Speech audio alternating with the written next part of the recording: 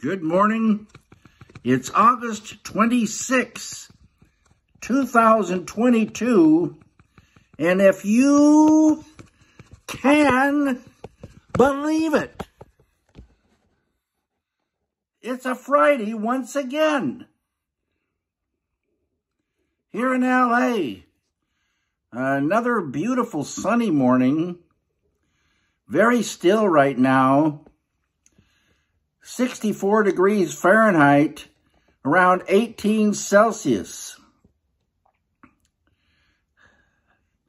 Today, I was thinking about the song Heartbreak Hotel by the great Elvis Presley. Once again, from the year 1956.